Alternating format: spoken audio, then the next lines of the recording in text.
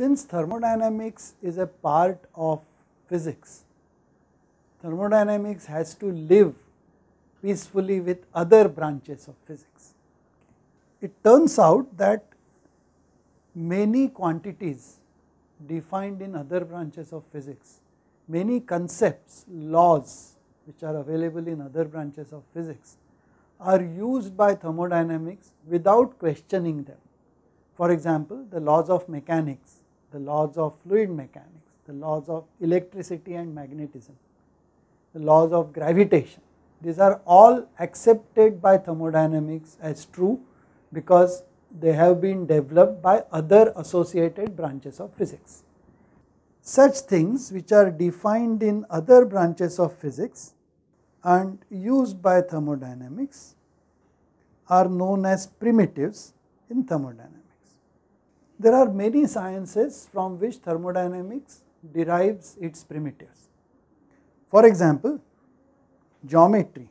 From geometry we will be using the concepts of length, area, volume and all the properties of length, areas, volumes and other geometric identities which we have derived, they are accepted in thermodynamics as true. They are primitives in thermodynamics. We will not be defining them again.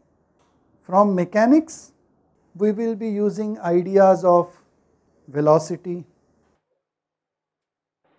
kinetic energy, potential energy and any other thing which is needed. From electricity,